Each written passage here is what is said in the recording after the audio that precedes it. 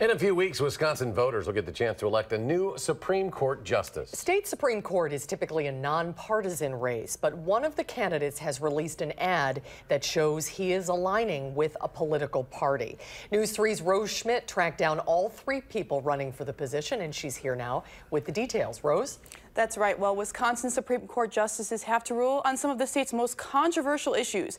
And the candidates vying for the position have different ideas about whether their political views should enter into the discussion. In deciding who sits on the Supreme Court bench, politics is typically kept out of the equation. In general, we see judicial candidates staying away from issues, not wanting to comment on things that might come before them on the court but really only wanting to talk about a judicial philosophy or their experience or preparation for the job. But Madison attorney Tim Burns is using a different strategy to get voters to elect him to the Supreme Court. I'm a lifelong Democrat.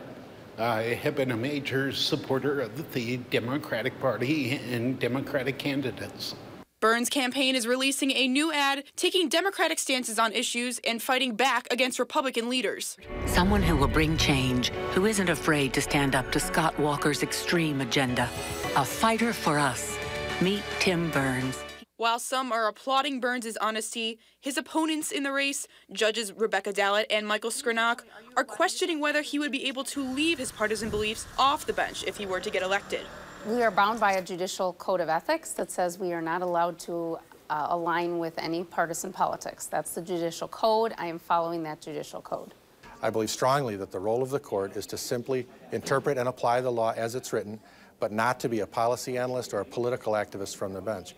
In past Supreme Court races, candidates have tried different avenues to win over the people of Wisconsin.